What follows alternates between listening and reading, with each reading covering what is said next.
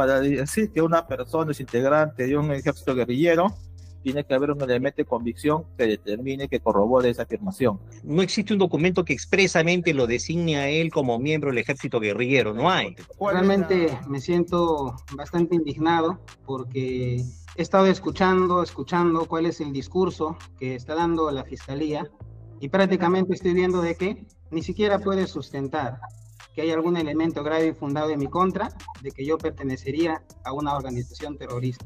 En vez de utilizar el razonamiento jurídico, está utilizando el supuesto, la especulación en mi contra.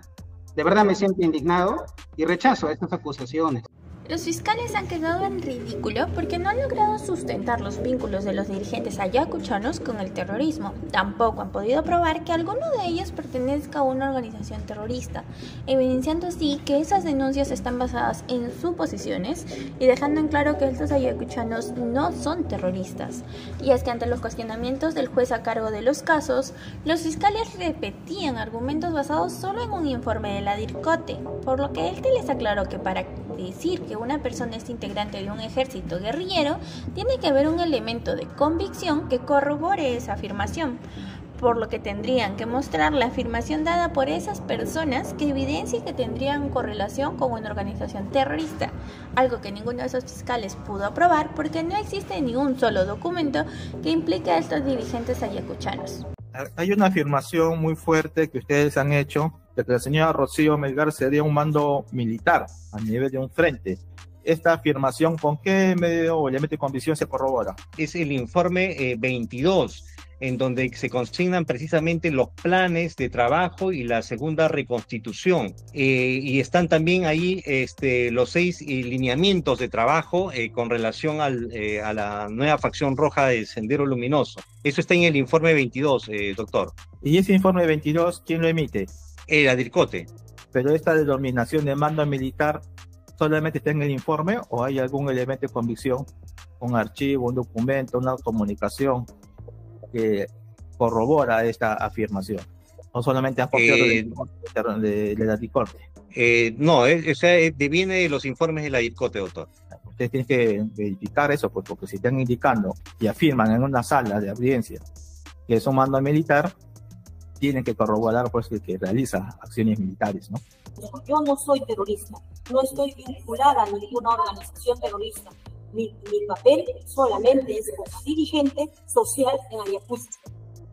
¿Cuál es el elemento de convicción que corrobora la afirmación que el señor Fernando Quinto Cuba es un integrante de, una, de un ejército guerrillero? Esto es con los informes 22 eh, y 513 de la DIRCOTE. Para decir que una persona es integrante de un ejército guerrillero, tiene que haber un elemento de convicción que determine, que corrobore esa afirmación. No existe un documento que expresamente lo designe a él como miembro del ejército guerrillero, no hay. ¿Cuál es la, la afirmación dada por estas personas, no el informe de inteligencia, sino la afirmación dada por estas personas que tendría correlación con el, la organización terrorista Sendero Luminoso. Hace referencia al, o, apoya o se solidariza con el operativo Olimpo, ¿no? Realizado en, aquella época. ¿Y el caso Olimpo en, qué etapa se encuentra, señor fiscal? No sabría precisarle ahorita, señor, en qué etapa está hacen tanta alusión al caso Olimpo, pues no, sabemos en qué estado está hoy. Yo nunca he sido parte, no soy parte, ni sería parte de una organización terrorista.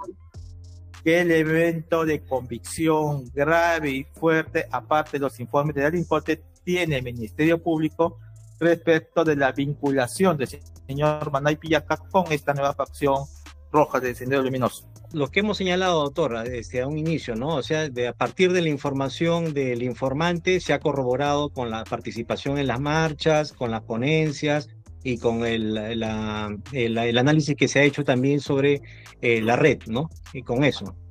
Entonces, tenemos que, ¿qué calidad tiene en esta investigación el señor identificado como Beto? Actualmente es, es, un informante, señor, un colaborador. 163 del Código Procesal Penal, inciso 3, parte final.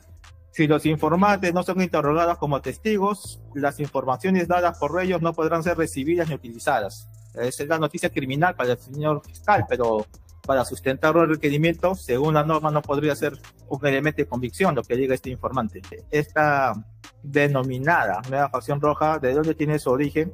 aparte de los informes de la DICOTE, debe haber algún elemento de convicción distinto a los informes de la DINCOTE o no existe ese elemento de convicción distinto?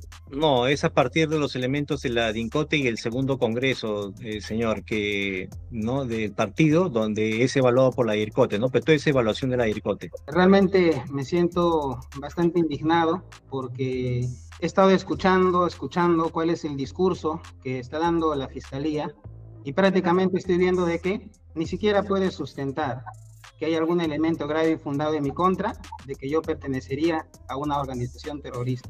En vez de utilizar el razonamiento jurídico, está utilizando el supuesto, la especulación en mi contra. De verdad me siento indignado y rechazo estas acusaciones.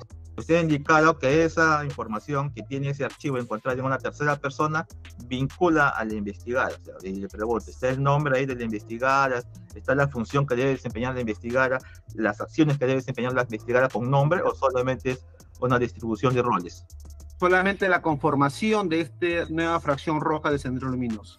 No hay una referencia expresa con el nombre y apellido, Yulisa Gómez Ayala, pero sí se hace referencia a una abreviatura de los que integran esta fracción roja. Entre ellas, la señorita Yulisa Gómez Ayala, con la abreviatura YLS. Basta estas dos reuniones que ustedes se han indicado o que después se han verificado para poder establecer la diferencia de que es parte de esta nueva fracción. Para el Ministerio Público, para el Ministerio Público, eh, son constituye sospecha fuerte de la vinculación de la señorita Yulisa Gómez Ayala con la organización terrorista Sendero Luminoso. Yo creo, considero que se debe respetar la libertad de expresión, pensamiento y participación política, porque pedir nueva constitución no nos hace terroristas. Yo no he cometido delito alguno, no soy terrorista, nunca voy a ser terrorista, eh, no pertenezco a ninguna organización terrorista. Hay una afirmación muy fuerte que ustedes han hecho de que la señora Rocío Melgar sería un mando militar a nivel de un frente. Esta afirmación, ¿con qué medio o elemento de convicción se corrobora? Es el informe 22 eh, en donde se consignan precisamente los planes de trabajo y la segunda reconstitución. Eh, y están también ahí este, los seis lineamientos de trabajo eh, con relación al, a la nueva facción roja del Sendero Luminoso. Eso está en el informe 22, doctor. ¿Y ese informe 22 quién lo emite? El Adircote. Pero esta denominación de mando militar solamente está en el informe o hay algún elemento de convicción, un archivo, un documento, una comunicación que corrobora esta afirmación. No solamente copiado eh, de, de, la. Eh, no, eh, viene de los informes de la DICOTE, doctor. Ustedes tienen que verificar eso, pues, porque si están indicando y afirman en una sala de audiencia que es un mando militar, tienen que corroborar pues que, realiza acciones militares, ¿no? Yo no soy terrorista, no estoy vinculada a ninguna organización terrorista. Mi, mi papel solamente es como dirigente social en Ayacucho cuál es el elemento de convicción que corrobora la afirmación que el señor Fernando Quinto Cuba es un integrante de, una, de un ejército guerrillero. Esto es con los informes 22 eh, y 513 de la DIRCOTE. Para decir que una persona es integrante de un ejército guerrillero, tiene que haber un elemento de convicción que determine, que corrobore esa afirmación. No existe un documento que expresamente lo designe a él como miembro del ejército guerrillero, no hay. ¿Cuál es la, la afirmación dada por estas personas, no el informe de inteligencia, sino la afirmación dada por estas personas que tendría correlación con el, la organización terrorista Sendero Luminoso. Hace referencia al, o, apoya o se solidariza con el operativo Limpo, ¿no? Realizado en, aquella época. ¿Y el caso Limpo en, qué etapa se encuentra, señor fiscal? No sabría precisarle ahorita, señor, en qué etapa está hacen tanta alusión al caso Olimpo, pues no, sabemos en qué estado está hoy. Yo nunca he sido parte, no soy parte, ni sería parte de una organización terrorista.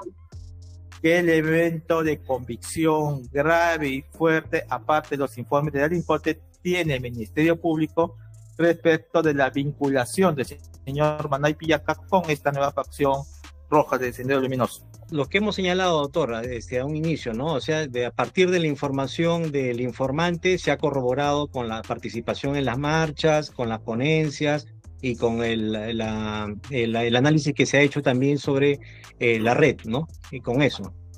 Entonces, tenemos que, que calidad tiene en esta investigación el señor identificado como Beto? Actualmente es, es, un informante, señor, un colaborador. 163 del Código Procesal Penal, inciso 3, parte final. Si los informantes no son interrogados como testigos, las informaciones dadas por ellos no podrán ser recibidas ni utilizadas. Esa es la noticia criminal para el señor fiscal, pero para sustentar el requerimiento, según la norma, no podría ser un elemento de convicción lo que diga este informante. Esta denominada nueva facción roja, ¿de dónde tiene su origen? Aparte de los informes de la DICOTE, debe haber algún elemento de convicción distinto a los informes de la DINCOTE o no existe ese elemento de convicción distinto? No, es a partir de los elementos de la DINCOTE y el segundo congreso, eh, señor, que no del partido donde es evaluado por la DIRCOTE, ¿no? Pero toda esa evaluación de la DIRCOTE. Realmente me siento bastante indignado porque he estado escuchando, escuchando cuál es el discurso que está dando la fiscalía y prácticamente estoy viendo de que ni siquiera puede sustentar que hay algún elemento grave y fundado en mi contra de que yo pertenecería a una organización terrorista. En vez de utilizar el razonamiento jurídico, está utilizando el supuesto, la especulación en mi contra. De verdad me siento indignado y rechazo estas acusaciones. Usted ha indicado que esa información que tiene ese archivo encontrado en una tercera persona vincula a la investigada. O sea, y le pregunto, ¿está el nombre ahí de la investigada? ¿Está la función que debe desempeñar la investigada? ¿Las acciones que debe desempeñar la investigada con nombre o solamente es una distribución de roles? Solamente la conformación de esta nueva fracción roja de Centro Luminoso. No hay una referencia expresa con el nombre y apellido, Yulisa Gómez Ayala, pero sí se hace referencia a una abreviatura de los que integran esta fracción roja. Entre ellas, la señorita Yulisa Gómez Ayala, con la abreviatura YLS. Basta estas dos reuniones que ustedes se han indicado o que después se ha verificado para poder establecer la diferencia de que es parte de esta nueva fracción. Para el Ministerio Público, para el Ministerio Público, eh, son constituye sospecha fuerte de la vinculación de la señorita Yulisa Gómez Ayala con la organización terrorista Sendero Luminoso. Yo creo, considero que se debe respetar la libertad de expresión, pensamiento y participación política, porque pedir nueva constitución no nos hace terroristas. yo no he cometido delito alguno, no soy terrorista, nunca voy a ser terrorista, eh, no pertenezco a ninguna organización terrorista. ¿Y tú qué opinas de la falta de pruebas en estos casos? ¿Crees que condenen a estos dirigentes ayacuchanos solo por haberse levantado en contra de la dictadura de Dino Boluarte? Déjanos tu opinión en los comentarios y comparte este video para ayudarnos a que esta información llegue a más personas.